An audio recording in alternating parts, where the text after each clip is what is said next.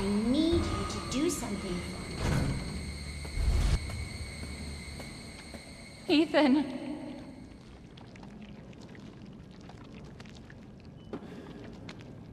Ethan. Ethan. Hey, shh, shh, I know, I know, I know. I'm not gonna hurt you. Hell, I never would have if I could have helped it. What do you mean? I'm no killer, son.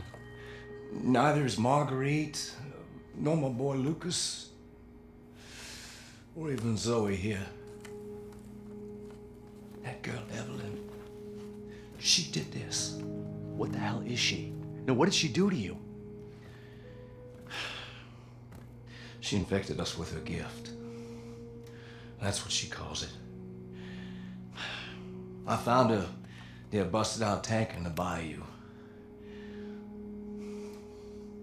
Everything changed after that. So she infects you and then she takes control? No.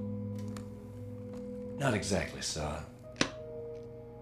She just. She forces her way into your mind, your soul.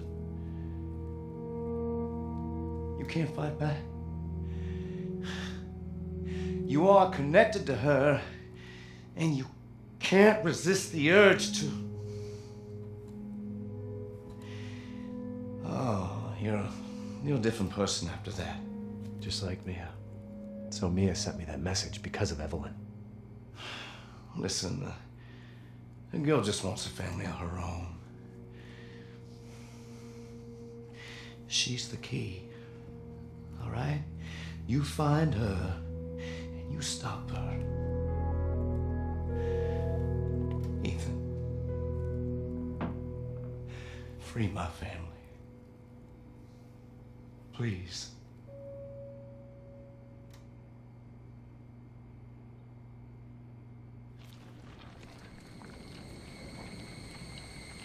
Evelyn, stay away from him. Why? He doesn't love you. I can make him love you. Don't. Don't hurt him. Silly, I told you I'm not gonna hurt him. Remember?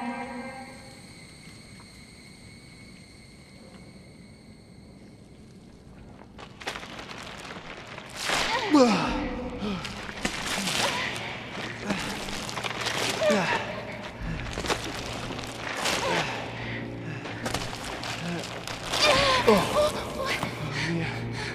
how? There's no time. You have to get out of here and find her. Here, take this. What? Wait, wait, what are you doing? What are you doing? Saving your life.